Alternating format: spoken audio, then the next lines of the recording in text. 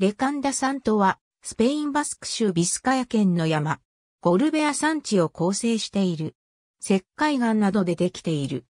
ゴルベア山地の山並みレカンダ山は、北緯43度04分02秒、西経2度47分42秒付近に位置している。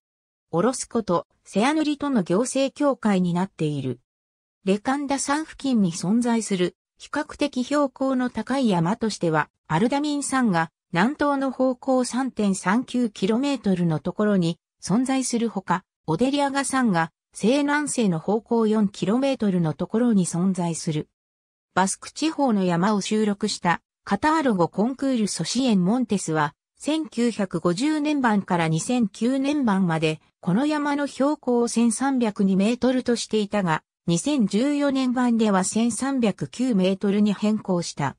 2016年3月現在においても山頂の標高は1302メートルであるとするサイトも複数存在する。